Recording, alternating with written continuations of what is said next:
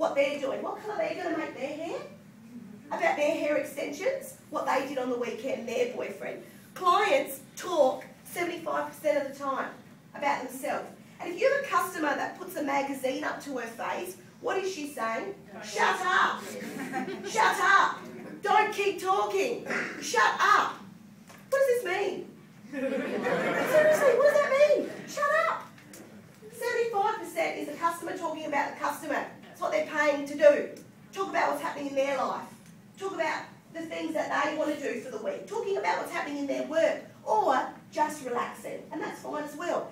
The other 15%, this 15%, is staff talking about themselves. Now this 15% is what makes money and is my profit. Is staff talking about what they are doing. And it is criminal. It is absolutely criminal to put something on someone's hair, skin or body without telling them what you're doing.